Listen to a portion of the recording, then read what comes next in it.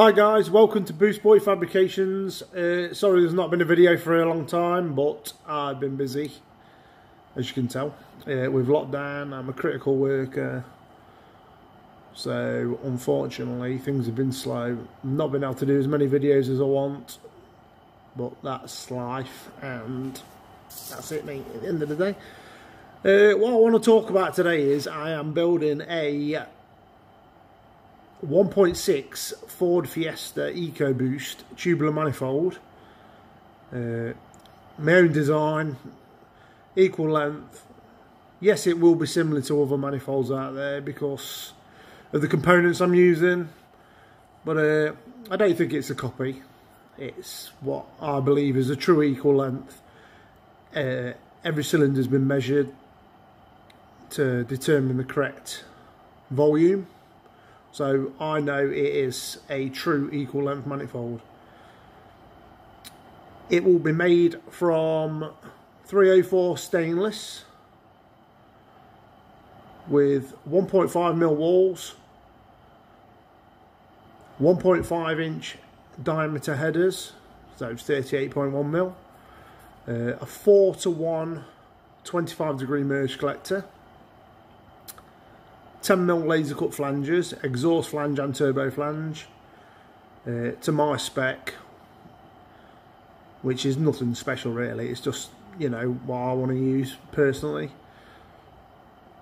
It will have a inch and 7.5 outlet with a ported turbo flange to ensure a smooth transition and also the turbo flange will be in the original position.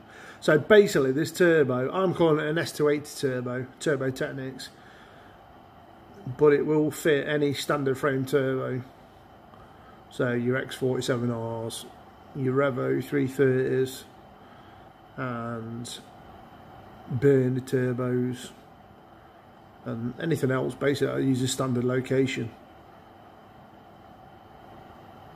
It will be fully TIG welded. Uh, back purged, if anyone don't know what back purging is, it's where you fill the chamber full of gas and that will take all the oxygen away so you get as, as good a weld on the inside of the pipe as you do on the outside of the pipe. That'll ensure strength and there's no like, uh, they call it sugaring on the back of the weld which could potentially drop off and go in your turbo and stuff. So you know it's going to be the best quality. I can make it like I've always tried to do with my manifolds. Now I don't know whether there's going to be any gains to be had with the manifold whether it's going to be I can't imagine it being massive. It's going to be you know probably I would say 8 to 10 horsepower if I'm lucky because it's only a 1.6 litre engine I do believe it will produce more horsepower if you go to a bigger turbo. The problem is with that is it's to fit a standard frame turbo. So unless it's a special one-off that I can make for you, it will basically be limited. Like Turbo Technics are apparently bringing the S290 out, which is still in the standard location. So I believe it will come into its own then. It would actually make more horsepower than it will do on an S280. But that's all fine and dandy, but this is for the S280, so, you know, I'm not going to say, oh, yeah, it's going to do this, it's going to do that, because it might not do anything yet. A lot of tubular manifolds, from what people have told me, reliable sources, have said that you actually lose power because of the size of the headers and the length of the primaries. But uh, this, I know for a fact the Simpson one produced for the MJ Performance that that produces horsepower, and that's a cracking bit of kit.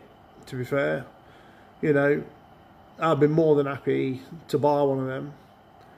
But I believe this is my own version.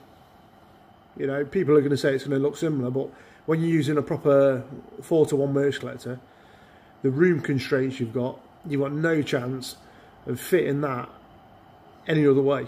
The only way you could do it is if you fabricate an angle collector, which I personally don't like using. There's nothing wrong with them. I just don't like using them. And from the research I've done on Burns in America, that Mech merge collectors, they say between 15 and 25 degrees is the optimal flow. So that's why I tend to use them. And they're a lot more expensive as well, you know. So um, I could be cut my own throat and making a lot more money, but I believe they're the best, and that's what I use. And it's as simple as that, basically. You know, different different rules for different mules. So for me, I like using them. Other people like fabricating themselves. There's nothing wrong with that. That's perfectly fine. You know, it's not a competition. There's no animosity from from me or towards anybody, or hopefully they're not towards me. But you know, some people can be very clicky about stuff. That, that's that's not me. I'm not, I don't I don't give a shit what other people think or say. So it's uh, yeah. I'm gonna show you around in a minute and uh, see what you think. It's just taped up at the minute, as in I've literally just tested all the headers. How I've measured them, I have filled, I broke each primary off, taped it up, uh, filled it full of water, which sounds a bit, oh fucking hell, yeah, what are you doing, filling it full of water. Filled it full of water, tipped it all into a measuring jug, that's given them a volume. And it's literally 10 fluid ounces. It gives you something to work off. Uh, you know, you don't need, in all honesty, mate, you don't need thousands of pounds worth of equipment to tell you that, you know, computer aided design to tell you that, oh, it's going to flow this much, it's going to flow that much. Yeah, you know, Formula One cars and teams like that, fair enough, but I'm working out of a garage, so, from home, so to ensure every one of mine's equal length, I normally use sand. I fill them full of sand, put them in a measuring jug, and then make sure each primer is equal length, or equal volume, should I say. And that will ensure an equal length manifold. It can be a pain in the fucking arse, and I mean a right pain. As I'll explain when I show you around the manifold in a minute. Uh, you know, yes, you can waste a lot of materials, but once you've got your your design, if it's going to be repeatable, you know, you need to make a jig, and that's what I've done. So hopefully, there's going to be a few people interested. I've already had a few people knocking on the door, sort of asking when it's going to be done. Like I said, unfortunately, I'm a critical worker. I've got a kid, so I have to work around as and when I can, basically, which is weekends and stuff. Uh, I'll be doing a batch and it's a first come first serve basis. It's as simple as that. There will be no, oh, can I have one? You know, can I pay more? It'll be this is a price, uh, and once they've gone, they've gone. Until I get time to do another batch. Unfortunately, I've just been put because of the country's on lockdown again. I've been put on afternoons, so I might get a bit of time in the day help me along, but I can't see it happening, to be fair. Uh, so it's just what it is. Right, let me show you around the manifold. Right guys, this is it. Equal length primary 1.6 EcoBoost manifold. As you can see the first two primaries, yeah it looks a bit like the Simpsons one. They've used a tighter curve and bent off a bit more. I've used a more radius bend uh, from the measurements I've got out my car because I'm running an S280. Uh, it should fit, no problems. I have made it quite shallow. From the top of the heat shield of the flange there to the top of the heat shield is 150 this is around about 150, maybe 160 mil. So it's going to be no, it should be no higher than the original heat shield on the original manifold. Sitting backwards from the face of the flange to the back of the manifold there is 150. I think we have got 180, maybe 200 deep. So it's going to be quite tight to the head as well. So possibly I might be making a heat shield to cover all the pipes at the back. So it's just like a plated heat shield and not you've got to box it in. Because it stands up upright, as you can see, it will need a different crossover pipe.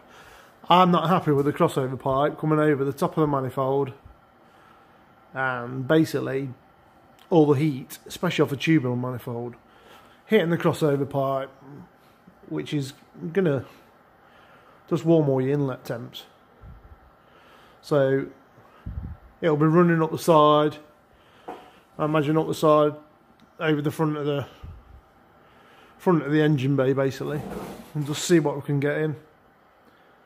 If there was a different way of doing it, I, I might even possibly look at getting one that goes from up over down the side and if you can swing it down behind the driver's headlight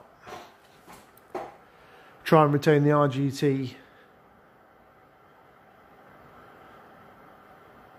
uh, induction kit but RGT did I say RGT or RTG? RTG. sorry it's me being a thick twat again the RTG RTG induction kit, I'll say it in one word, uh, and do a reverse one. I don't know. The only problem with that is then we've got to link the air inlet sensor. We've got to make an extension cable, so that's going to be another ball ache. And take all your vacuum pipes to it. So, let's have a look around it. The uh, headers go through the flange face. So that pipe hits the back of the jig. So that'll be getting purged around the back, welded around the front, and I might put some strengthening plates on, I'm not sure yet. I've never really done them before, so I might not do them. As you can see, they all fit there. The two primary headers, let me just tilt that back. So the two, as you can see, they're spot on. You know, there's no no different there. With the 4 to 1 merge collector, it is super tight. Super tight. I can see why other companies do it a different way. You will not be able to get that collector on. That collector will not be on springs. It will be solid welded all the way around. So it's a it's a one-off manifold basically. You know, you can use it on plenty of different turbo setups, but you will not be able to pull that off and swap it out. You'll be lucky you can, can even get it out. Never mind about swapping it out. So we've got them. We've got the two primers there. We've got the two primers at the back. Like I said, look, you know, you can see it's absolutely spot on. Which then sweep round the back and down I'll just show you from the side. Sweep round and round. You know, it is a bit loose at the minute, you know, you can move stuff around, clearly. I'm going to try and give everything a gap so there's no rattling. And the same on the other side.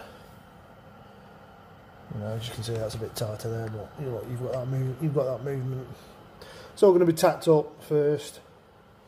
Checked in the car, and see what we've done. That's the merge from the merge collector to the turbo flange. Now the hole I've had machined is 35 mil, a standard hole. That pipe is 42 mil. So what's going to happen is there's going to be an angled hole that will be uh, hand ported. So the transition from the end of this pipe there where it's TIG welded round into the flange will be a tapered edge to ensure flow. Because someone's told me the S280 flan, uh, hole, turbo hole, is 37 mil. So I've had it done 35, so it needs opening out slightly. And it will have a ported hole, again, just to make it as smooth as possible. Uh, as you can see, quality of the welding, merge collector, everything's spot on. There's nothing, uh, nothing done cheap and cheerful. You know, everyone's got their own ways and their own designs. I'm not knocking any of them, like I've said before. But uh, each to their own. So, like I said, that's it. So if there's anybody interested, you can visit my Facebook page, which is Boost Boy Fabrications. This is a new product. Hopefully it will be coming with the induction pipe as well. So it's probably going to be a little bit more expensive than say a Pumaspeed manifold. But you will get the kit. So you'll get the manifold, maybe a heat shield plate. I need to look at that on my car first uh, and develop it and also the uh, crossover pipe that needs to definitely be sorted. That's the, the next main priority really. Uh, I'll do another video when it's all welded up. Uh, show you the quality of it and see how we get on. That's it for this video. Uh, hope you've enjoyed it. A little walk around in the manifold and show you what you know, show you what's happening basically. And if anyone's interested, like I said, you know, please get in contact and I'll keep you updated on my Facebook page to, to let you know when it's getting released.